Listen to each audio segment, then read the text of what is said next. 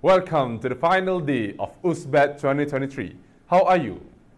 I hope everybody is still with us and feeling well. To kickstart our final day, I would like to invite our second keynote speaker, Dr. Lilawati Abdul Wahab from Center for Knowledge and Understanding of Tropical Architecture and Interior, aka KUTAI, to deliver her speech. Assalamualaikum warahmatullahi taala wabarakatuh and salam sejahtera. Uh, thank you to our moderator and all uh, to all the participants of undergraduate seminar Sustainable Built Environment or USBET 2023. Okay, I am Lilawati binti Abdul Wahab, okay, representing Center for Knowledge and Understanding of Tropical Architecture and Interior, or well known as KUTAI from UITM Perak branch. Okay, so today I would like to share on my topics which is conservation of heritage building in Malaysia. So what is conservation?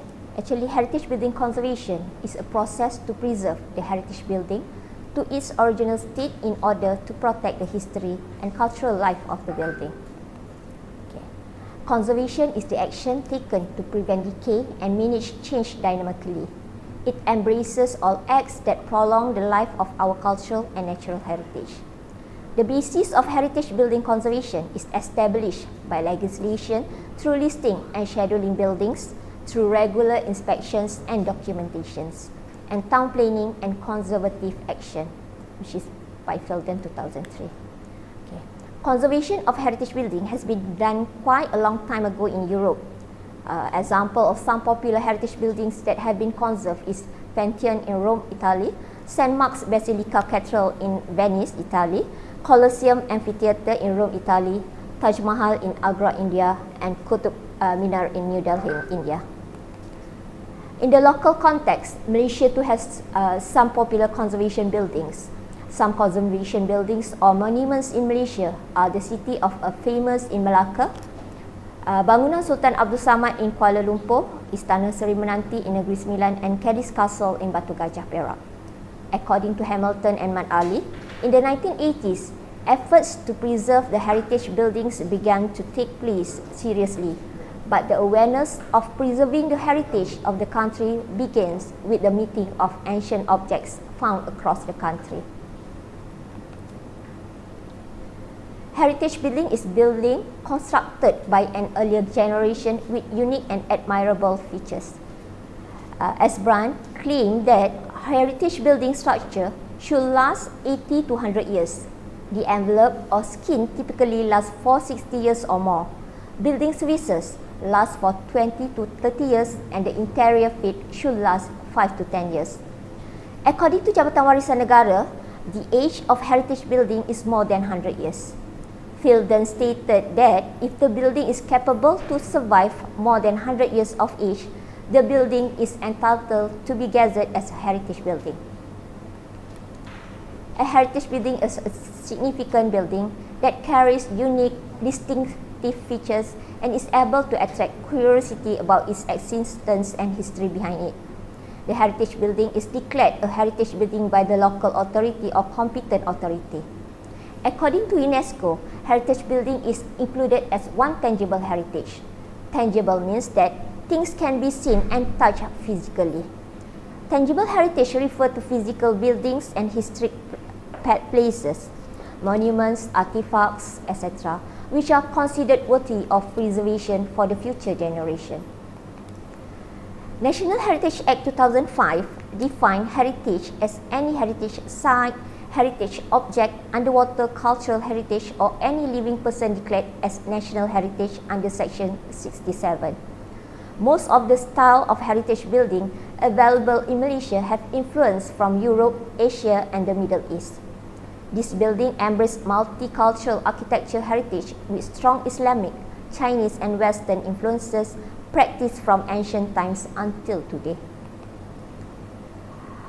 For criteria of heritage building can be identified based on several key criteria. The criteria is historical, architectural, placement, cultural, and technology development. Uh, as historical, heritage buildings in Kuala Lumpur, Melaka and Penang have a colonial influence on design. According to Ahmad, the colonialists and traders who came to Malaya brought together the culture and the arts from their home country, which affected the architect of the building in Malaya. The heritage buildings with historical significance show that this can be proof of an era of historical event. Uh, as a criteria for architectural, most of the heritage buildings have architectural design with a variety of influences. Additionally, the architectural design of a heritage building can also explain the origin of the heritage building and its history. For the placement criteria, the building, the heritage building is among the important buildings that affect the shape of the heritage city. It is also an important element in providing the appearance and character of a city or place, especially for a heritage city that has been recognized as a World Heritage Site. For the culture criteria, it should directly or indirectly uh, heritage buildings supposedly display the characteristic and ways of living in a place, traditional activities, and social cultural practice. Heritage buildings should also have a connection with the tradition and social culture of the local community practiced practice from ancient times until today. And the last criteria for heritage buildings is technology development. Heritage buildings often have features that are unique in construction technology. It is difficult to find a suitable technology for the heritage uh, building today. Most of these heritage buildings exhibit fineness and craftsmanship that require high skill in restoring or preserving building in terms of manufacturing and construction. Building material used also have varieties and privilege in terms of durability which are often able to survive for hundreds of years. Based on uh, Jabatan Warisan Negara, they have categorized the heritage building into 12 category, which is residential, commercial, military, educational, institutional, industrial, agricultural, religious, recreational, social and culture, transportation, and other types of building. So according to Ahmad, heritage building can be classified and listed into three categories of building. These grades are divided based on the importance of heritage building based on the national heritage. This category indirectly facilitates the parties involved in the conservation of heritage building to perform the conservation works based on the grade provided. For the grade 1, most of the heritage building for the grade 1 is building of architectural excellence and historical importance. The building has to preserve for the purpose of national interest. As an example, the Kuala Lumpur Railway Station, Sultan Abdul Samad Building, Jamek Mosque and Stadthuys building in Melaka. And for the grade 2 is the heritage building which is building which has historical interest and give a certain value to the state is located. For example, the Johor Royal Museum and Penang City Hall building. And the four grade 3 buildings is heritage building which have a special architectural or historical character which may have a good effect on life. Such a building which have either religious, cultural, or social interest or an uh, example of a particular culture and craftsmanship. Actually, the heritage building has their own importance. Heritage building have characteristics that are remarkable and unique. They are categorized as a limited resources of architectural her heritage heritage building also provide a sense of identity and continuity in today's fast-changing world. For conservation of heritage building, there are parties or agency which is related to conservation works. For international agency or parties which is actively involved in heritage building conservation is UNESCO. One of them is UNESCO or United Nations Educational, Scientific and Cultural Organization. Beside that, we have ICOMOS from Australia, which is International Council on Monument and Sites. And we ha also have uh, International Center for the Study of Preservation and Restoration of Cultural Heritage, ICROM. For the Malaysian agency or parties uh, who is actively involved in heritage building conservation, we have Jabatan Warisan Negara or Malaysian National Heritage Department, which is uh, seriously involved uh, in conserve all our heritage buildings.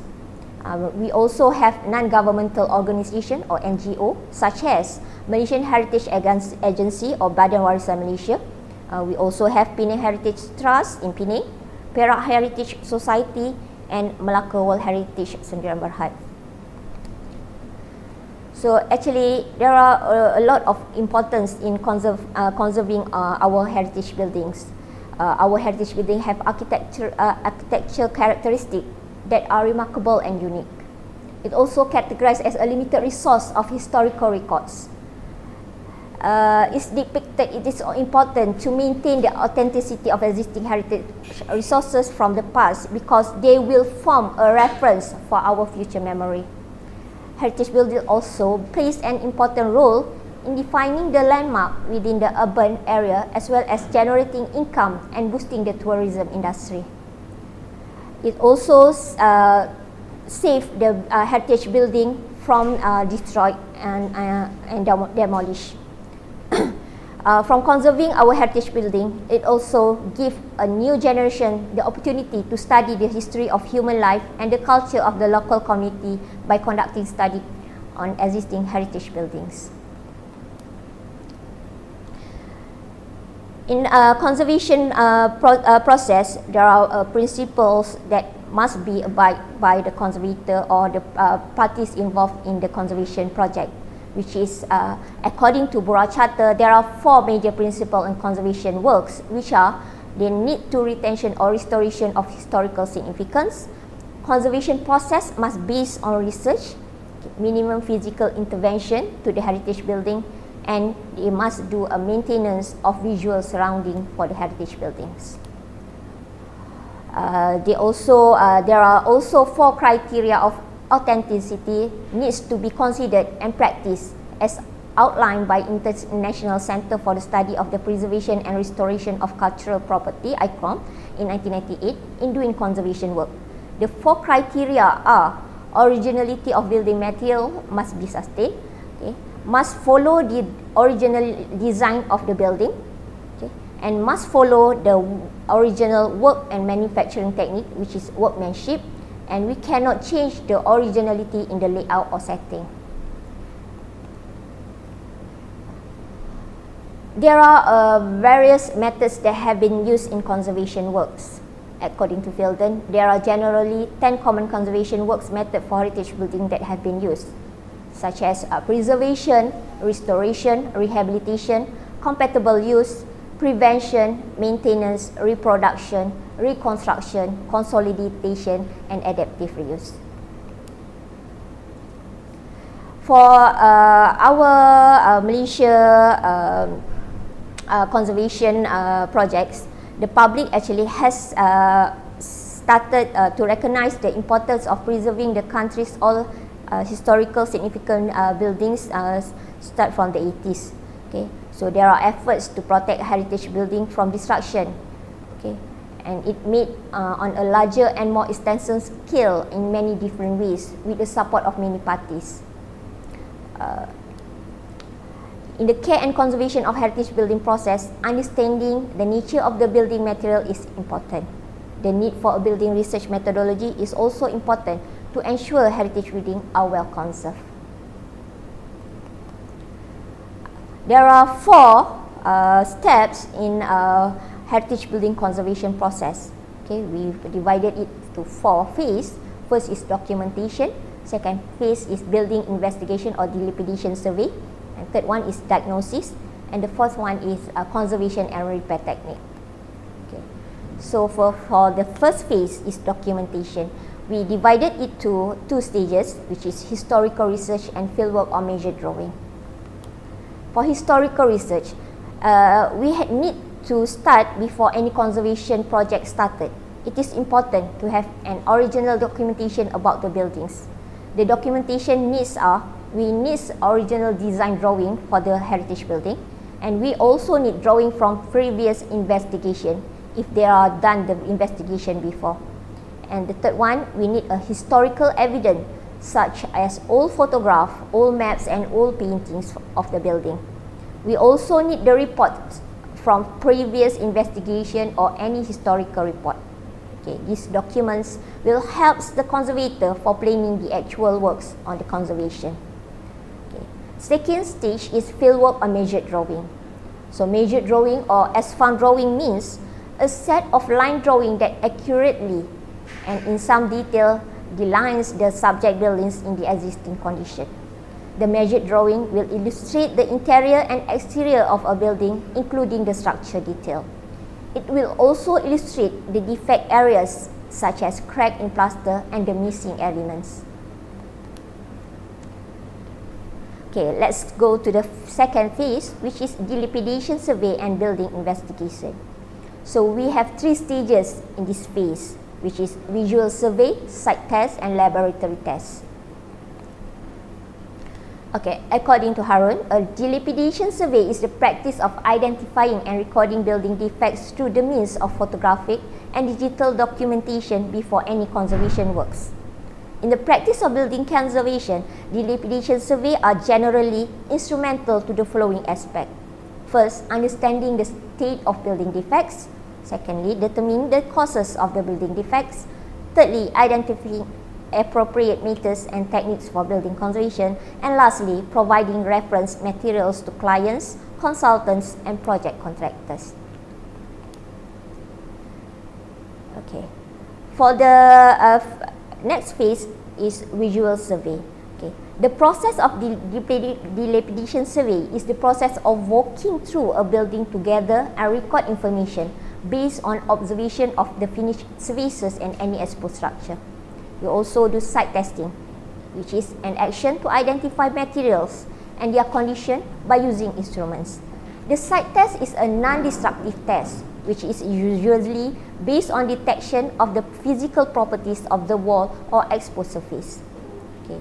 Next, we also done a laboratory test, a test to identify the original material and the composition of materials. Example of laboratory tests include a test to identify plant species, dispersion agents and chemical fungicides, timber species, grading and group strength, detect the salt levels and percentage of total iron, and to classify paint type as well as color scheme analysis for the buildings. Okay, for the phase 3 is diagnosis. Uh, there are four main objectives in doing uh, the diagnosis. First is to identify main causes of defects. So the conservator needs to find the, uh, the causes of the defects, then they have to determine the location of the occurrence. Okay. The third one, they also have to determine the symptom of the defects. And lastly is to suggest, suggest appropriate methods of conservation and repair techniques. Lastly is phase 4, conservation and repair techniques. Okay. There are a cleaning, consolidation, reconstruction, restoration and preservation in this phase. Okay. So the conservator first will prepare the proposal or method of statement on technique to repair and conserve heritage building. Conservation work start with preliminary activity such as cleaning the building surfaces. By doing this, the appearance of heritage building becomes clear and the conservation activities can be managed systematically. It will follow with consolidation, reconstruction, restoration and preservation activities. The building conservation process will start with the upper element. The process is from top to the bottom of the building. We know that conservation is related to common uh, to defects. There are common defects in heritage buildings that need to be solved by the conservator. Common defects in heritage building have been found in uh, such locations such as external wall, internal wall, upper floor, ground floor, staircase, roof, gutters and rainwater pipe. And the common types of defect that always have been found in uh, doing conservation project is cracking, damp, uh, surface disintegration, deterioration and discoloration in external wall. Besides that, uh, there are also cracking, damp and patchy white deposits in internal wall. Uh, there are timber collapse, decay, warping and shrinking boards at upper floors. Okay. Uh, for the ground floors, uh, the common types of defect that they have found is curling and gaps between board, lifting and cracking screed, and loss of floor and dam. And uh, for the staircase, uh, the common types that they found is collapse of staircase, timber decay, and cracking. For the roof, the types of defects that all uh, uh, common uh, have been done is timber decay, spreading and sagging, slipping and spilling of sheeting, loose, missing, and broken tiles. And for uh, we also found uh, leaking in gutters uh, and in rainwater pipe also, we found a block and perforated and bowing in rainwater pipe. So, from the defects, actually, if we are not doing conservation, we will find that the heritage building will collapse and loss of use. And uh, to repair uh, the defect, it will uh, give us a high cost of repair and maintenance. Okay, so the factors that cause building defect in heritage buildings are climate conditions, location of buildings, building type and change of use, maintenance of building, and the fifth one is building age. So for climate condition, actually uh, our country, uh, as a tropical country, we has a heavy rainfall and warm sunshine all year round. So this building were exposed to external causes such as rain, wind, solar radiation, and atmospheric pollution. So from this climate condition, okay, there are defects that will uh, occur is fungal stain, harmful growth, peeling pain, erosion of mortar joints, and defective plastered rendering. So the second factor is uh, location of buildings. Most of uh, our heritage buildings located near the sea or rivers, okay, which tend to have common building defects. Okay, water coming from the ground causes dampness penetration and structural instability to the building. The third one is maintenance building. Historic buildings that neglect building maintenance may fall into several defects which may lead to structural failures and loss of use. It is important to regularly inspect the main structural elements including foundations, beams and columns and other building elements. Fourth one is building age. All elements of historic building tend to deteriorate at a lesser or greater rate depending upon their location and function. Old buildings often face problems with building materials. Proper treatment of building repair and maintenance should be given full consideration. Okay, that's all for today. I hope you will uh, enjoy my talk. Okay, thank you very much. Assalamualaikum.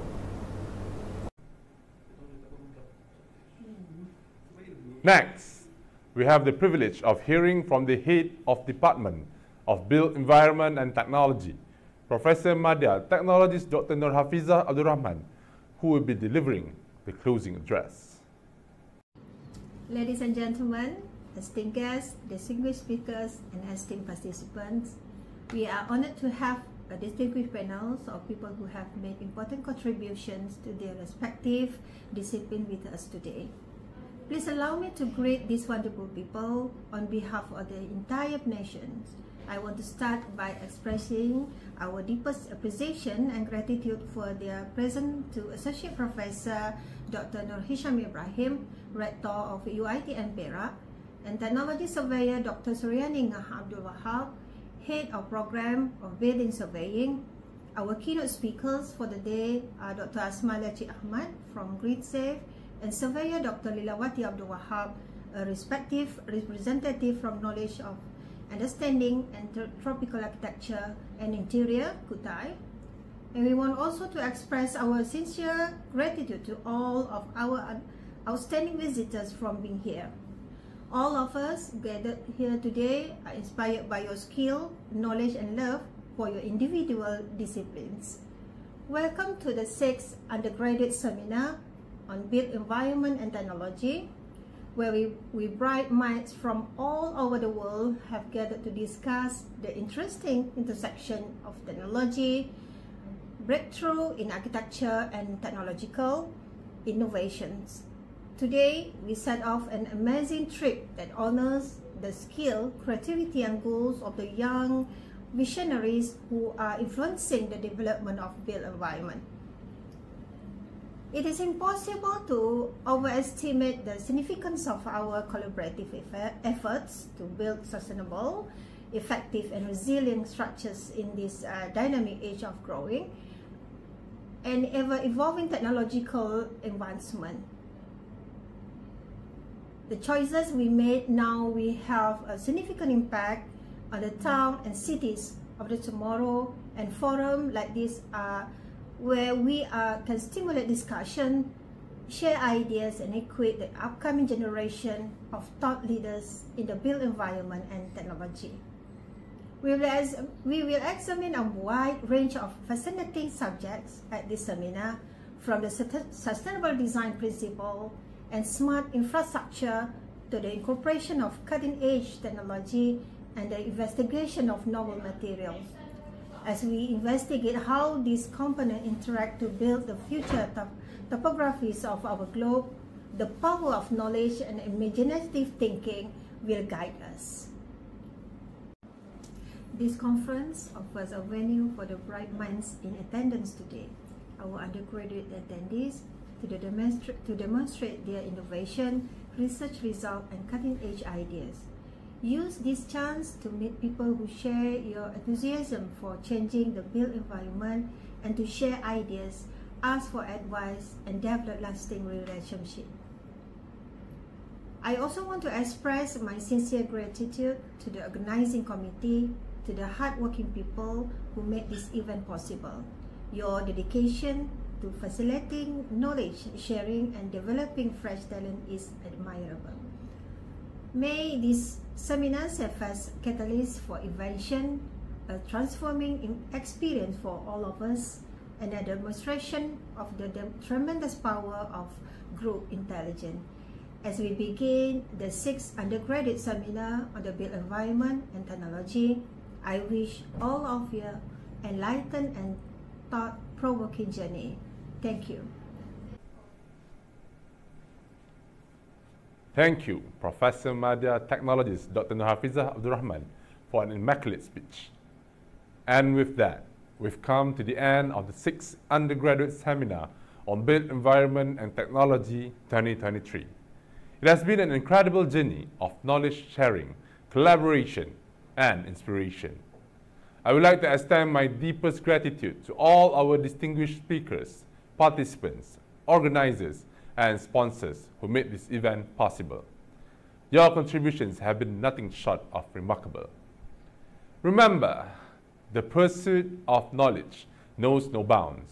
Let's continue to build a better future through innovation and collaboration in the field of built environment and technology. Safe travels to all, and until we meet again, take care and stay inspired. To wrap up the event, please enjoy the winner announcement video. Thank you and have a pleasant day. 10, 9, 8, 7, 6, 5, 4, 3, 2, 1.